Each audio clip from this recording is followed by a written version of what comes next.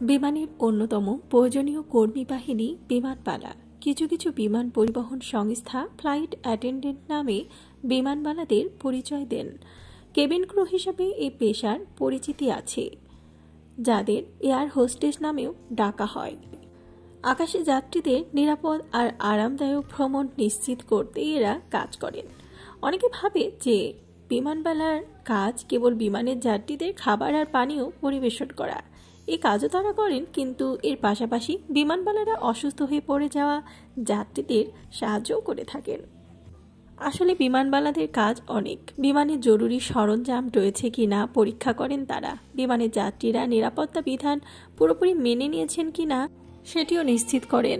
জরুরি পরিস্থিতিতে বিমানবালা যাত্রীদের গুরুত্বপূর্ণ নিরাপত্তা তথ্য প্রদান করেন।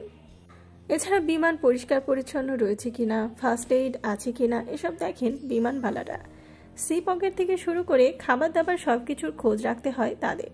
যাত্রীদের টিকিট মিলিয়ে দেখা, কেবিন লাগেজ সিটে পৌঁছাতে সহায়তা করা, যাত্রীদের নিজ সিট খুঁজে পেতেও সাহায্য করার কাজ করে থাকেন তারা। বিমান ওড়ার আগে সিট বেল্ট লাগিয়ে নেওয়ার বাদটা দিয়ে থাকেন তারা। পাইলটের পক্ষ থেকে বিমান উঠানামা সংক্রান্ত বিভিন্ন তথ্য যাত্রীদের দিয়ে থাকেন। বিভিন্ন জরুরি সরঞ্জাম কীভাবে ব্যবহার করতে হয় তা যাত্রীদের শিখিয়েও দেন। জরুরি অবতরণ বা কোনো সমস্যায় কি করে নিরাপদ থাকা যাবে সেই সংক্রান্ত তথ্য দেন তারা। কোনো যাত্রীর বালির বা কম্বল প্রয়োজন হলে তিনি তা এগিয়ে দেন। যেসব যাত্রীরা বিমান ভ্রমণে ভয় পান, তাদের সাথে সান্ত্বনা দেয়া বা পরামর্শ দেওয়ার কাজটিও করেন বিমানপালারা। যেহেতু একজন বিমানবালা যাত্রীদের নানান ধরনের পরিষেবা দিয়ে থাকেন, তাই তাকে শারীরিক ও মানসিকভাবে সুস্থ থাকতে হয়। কেননা, তাকে দীর্ঘ সময় দাঁড়িয়ে কাটাতে হয়। একজন বিমান সেবিকাকে একটানা বারো ঘন্টাও কাজ করতে হতে পারে। তাদের কাজের কোনো নির্দিষ্ট সময় থাকে না। রাতে, সপ্তাহে, বন্ধের দিনে, এমনকি ছুটির দিনেও বিমানবালাকে কাজ করতে হতে পারে। এই কারণে এই পেশা চ্যালেঞ্জিং। সাধারণত উচ্চ মাধ্যমিক পরীক্ষায় উত্তীর্ণ যে কেউ বিমানবালা হতে পারেন। কিছু প্রতিষ্ঠান অবশ্য স্নাতক সম্পূর্ণ বিমানবালা চেয়ে থাকেন। বিমানবালা হতে চাইলে উচ্চতা হতে হবে সাধারণের চেয়ে একটু বেশি। মেয়েদের জন্য কমপক্ষে পাঁচ ফুট তিন ইঞ্চি এবং ছেলেদের জন্য পাঁচ ফুট আট ইঞ্চি। আবার উচ্চতার সাথে থাকতে হবে সামঞ্জস্যপূর্ণ ওজন। যোগাযোগ দক্ষতায় অবশ্যই ভালো হতে হবে, জানা থাকতে হবে সাঁতার, ইংরেজি ভাষায় দক্ষ থাকা লাগবে। নানা চ্যালেঞ্জ থাকলেও বিমানবালার পেশা হিসেবে বেশ রোমাঞ্চকর। তরুণরা সহজে এতে আকর্ষিত হন। এ পেশায় বেতনও ভালো পাওয়া যায়। আর বিমানবালা হতে চাইলে আপনাকে সাবলীল বচনভঙ্গির অধিকারী হতে হবে। থাকতে হবে নজর কাড়া সৌন্দর্য।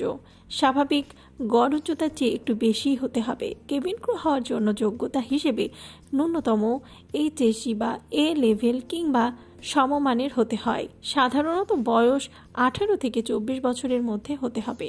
চশমা বা কন্ট্যাক্ট লেন্স গ্রহণযোগ্য নয়। হাতে কোনো কাটা দাগ কিংবা শরীরে কোনো ট্যাটুও থাকতে পারবে না, যা সহজে দেখা যায়। সাঁতার জানা আবশ্যক। কোনো কারণে বিমান যদি পানিতে অবতরণ করতে হয় সেই জন্য বিমানবালাদের কমপক্ষে বিশ মিটার সাঁতার কাটার সক্ষমতা থাকতে হয়। ইংরেজি ও বাংলায় কথা বলা আর লেখায় দক্ষ হতে হবে। অন্য ভাষা জানা অতিরিক্ত যোগ্যতা হিসেবে দেখা হয়। সাধারণত বিভিন্ন এয়ারলাইন্স কেবিন ক্রুর জন্য অবিবাহিতদের অগ্রাধিকার দিয়ে থাকে। আসলে বিমানবালা হতে চাইলে প্রথমেই শিক্ষাগত যোগ্যতা জরুরি। তারপর বয়স, শারীরিক সৌন্দর্য দেখা হয়। লাগে কিছু অতিরিক্ত গুণাবলী যার মধ্যে রয়েছে আপদকালীন সময়ে পরিস্থিতি নিয়ন্ত্রণে রাখার কৌশল জানা। ভিডিওটি ভালো লাগলে চ্যানেলটিকে সাবস্ক্রাইব করুন আর পাশে থাকা বেল আইকনে ক্লিক করে দিন। তাহলে পরবর্তী ভিডিও আপলোড করার সাথে সাথেই আপনার কাছে পৌঁছে যাবে।